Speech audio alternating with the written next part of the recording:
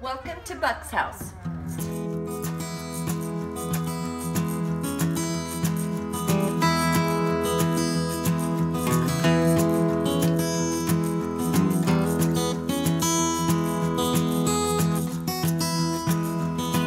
The person that owned it was Buck and his second wife Phyllis. They lived here from 68 to 74.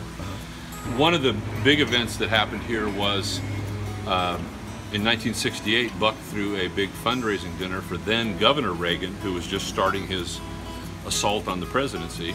And it was all in the backyard here. President Reagan told Buck that before he became an actor, he really wanted to be a singer.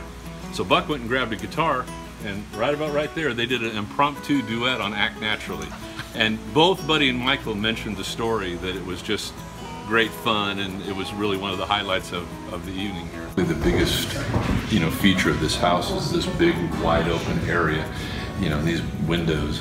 This house is really built for entertaining, and uh, you can see the bar down at the end, and, and uh, quite a lot of room to spread out.